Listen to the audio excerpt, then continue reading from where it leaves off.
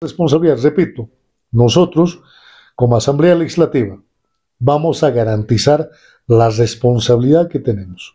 ¿Y cuál es nuestra responsabilidad? De que existan las elecciones judiciales. Así de esa manera tener a las nuevas autoridades judiciales. Caso contrario, no vamos a poder alcanzar por el tema del tiempo más que todo.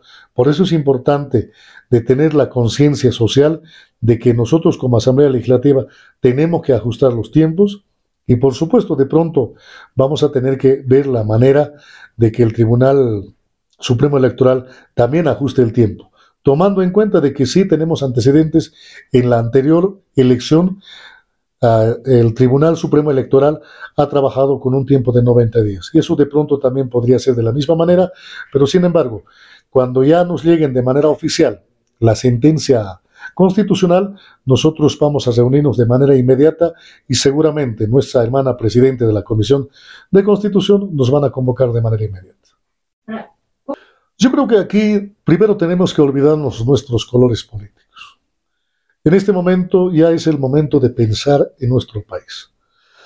Si vamos a seguir hablando de nuestras diferencias políticas, tanto de la oposición, y la diferencia interna que tenemos como instrumento político, yo creo que se viene el fracaso de la Asamblea Legislativa. Uno, no vamos a poder encontrar consensos, no vamos a poder encontrar los dos tercios, eso realmente va a dificultar el trabajo de la Asamblea Legislativa. Eso sería un fracaso de que en este momento la pugna interna que tenemos y, y las peleas con los frentes políticos realmente nos llevarían a un fracaso a la Asamblea Legislativa. Eso realmente preocupa. Por eso es importante de que decir a nuestros colegas diputados, primero pónganse la camiseta de nuestro país, pónganse el interés que en este momento corre lo que es el tema de justicia. Yo creo que si esas diferencias lo dejamos a un lado, por supuesto vamos a resolver de manera inmediata esta diferencia interna y estas diferencias que tenemos con los frentes políticos.